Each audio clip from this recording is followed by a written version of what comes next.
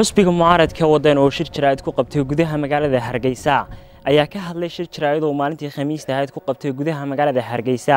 Michael wall madaxii goobjoogayaasha caalamiga ee doorashada madaxtooyada ee dhacday bishii noofembar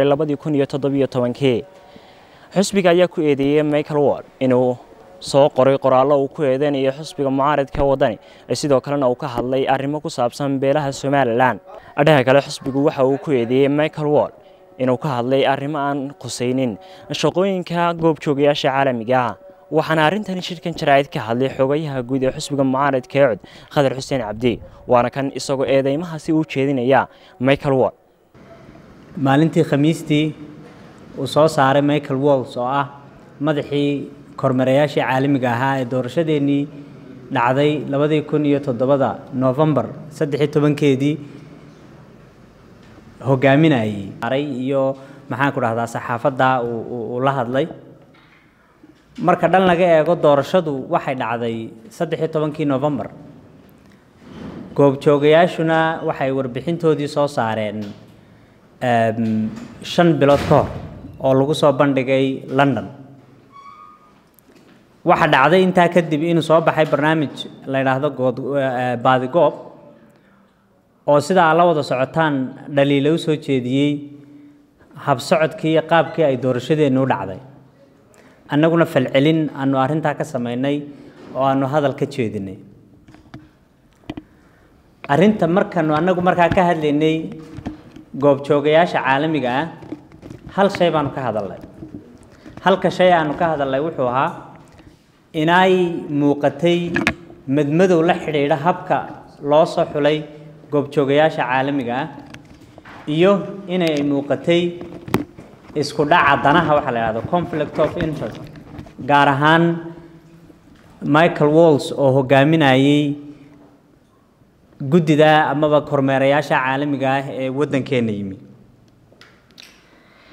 Waxaa markaa la yaab noqotay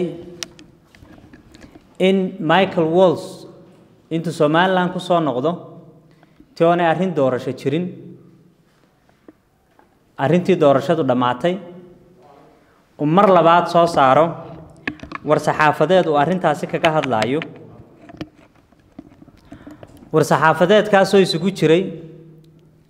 Eedeymo uu xisbiga waddani u soo jeedinayo xidhiidh uu ka dhexaysiinayo barnaamijkii baadigoob iyo beel ka mida beelaha somalilan degta oo dhowaan shir ku qabsatay gacan libaax buurta gacan libaax isagoo hadalkiisa wato xogayaha guud ee xusbiga mucaaradka wadani khadar xuseen cabdi ayaa waxa uu fariin u diray maamulka iyo mulkiilayaasha xarunta dhaqanka ee magaalada hargeysa taasoo uu sheegay inuu eedeymaha uu soo jeediyey michael wall oo uu soo adeegsaday xaruntaasi.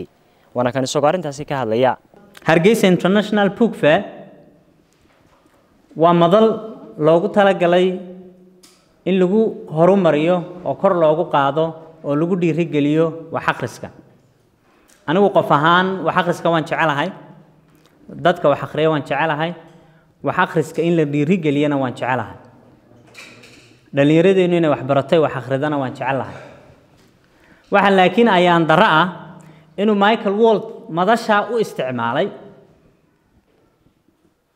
Qoraalkiisa sida ku cad ee aa wada aragteen inuu madashaa u isticmaalay goob uu ka dhaliilo xisbi qaran inuu madashaa u isticmaalay goob uu ka weeraro oo uu ku eedeeyo beel ka mida beelaha somalilan inay barnaamijkii baadigoob ka dambeysay.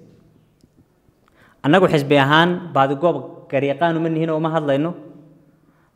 Beella uma hadlayno oo garyaqaan uma nihin. Laakiintiise arrinta xisbiga khusaysa ee uu gefka ka galay waa arrin aanu xisbigu ka hadhi doonin level kastoo ay leedahayna uu gaadhsiin doono haddii haddii ilaahay idhaahdo insha allah sidoo kale xogahaya khadar xuseen cabdi waxa uu sheegay inaanu qayb ka noqon doonin doorashada golaha deegaanka iyo golaha baarlamaanka ee fooda inagu soo haysa michael wod halka uu michael wodna uu sheegay inuu qayb ka noqon doono doorashadaasi. Waxaana hadalladiisii ka mid ahaa xogayaha xusbiga mucaaradka waddani. Doorashadii dhacday labadii kun iyo toddobadii toddobiyo tobankii dhaliilo fara badan baa jiray oo isaga riboodka qudhiisuu sheegayo qaar aanu sheegin baa jiray dhaliilahaasoo dhan annagoo og xisbigu waa aqbalay. Sheeke ka taagan iyo hadal maanta ka jooga midina ma jiro. Laakiin sida aanu wax uga baranayno sida aanu hore ugu soconayno sida aanu stakeholderskii kala duwanaa ee ka tirsanaa doorashada ku lug lahaa ama civil society ha noqoto ama commissionka ha noqoto ama systemka u dejisan doorashooyinka ee somalilan ha noqoto sida loo horumarinayo ee looga hadlaayo ee dareenkayga aanu uga sheegayno ee aanu ula dhaqmayno wax michael walls la weydiinaya maaha wax u yaalana maaha shaqo uu isagu leeyahayna maaha. Shaqadiisu waxa ay ku koobnayd ay ahaydna inay ku koobnaato inaanu soo dhaafin xayndaabka ah inuu yahay international observer.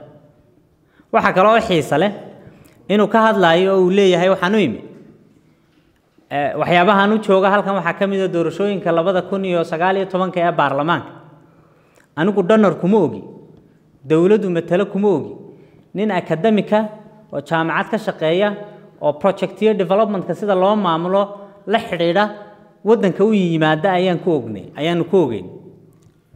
Cid uga baahan inuu arrimaha iyo doorashada somalilan ee soo socda uu ka hadlo amaba door uga bannaan amaba meeluu ka galo oo uga bannaani ma jirto. Marka waa waa waa ayaan daro ay tahay xukuumadduna inay ka dareen gabagabadii shirka jaraa'id ee uu qabtay xusbiga mucaaradka wadani islamarkaasina uu hadlayey xogeyaha guud ee xusbiga mucaaradka wadani. Khadar xuseen cabdi ayaa waxa uu ku sheegay inay arrintaasi ka falcelisay dowladda islamarkaasina ay wax ka tidhaahdo haddayna iyadu ka dambaynin arrimahaasi. Dowladdu waa inay markaasi maadaamuu habeenkaa habeenkii ka horreeyey madaxtooyada joogay dowladdu waa inay ka dareen celiso oo khaladka iyo gefka uu reeraha somalilan iyo xisbiga qaranka somalilanba ka gelayo waajib baa dowladda ka saaran ciddii ka baxsan. Reer somalilan ee arrimaha somalilan soo faragashata inay inay ka jawaabto. Haddii dee aanay iyaguba qayb ka ahayn oo aanay qoraalka la soo samaynin oo aanay u soo dhiibin oo aanay daaha dabadiisa ka riixahaynin waa ismaaciil maxamed khadar dhamba iyo mustafa abwaanka muqbahiye caalamiga badda caswan for t v magaalada hargeysa